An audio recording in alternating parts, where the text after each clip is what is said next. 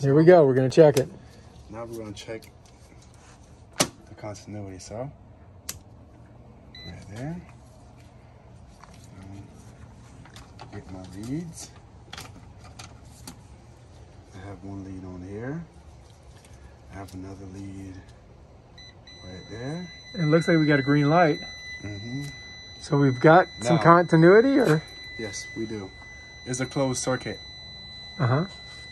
Open circuit, Oh, okay. True, true. closed circuit, open circuit, Oh, okay. close, open. So it's like a float. Yes, it is. So pretty much what it is is this is its factory setting. This is how it sits defaultly. Mm-hmm. Once water can't drain, water gets in here, it rises, it rises, it rises.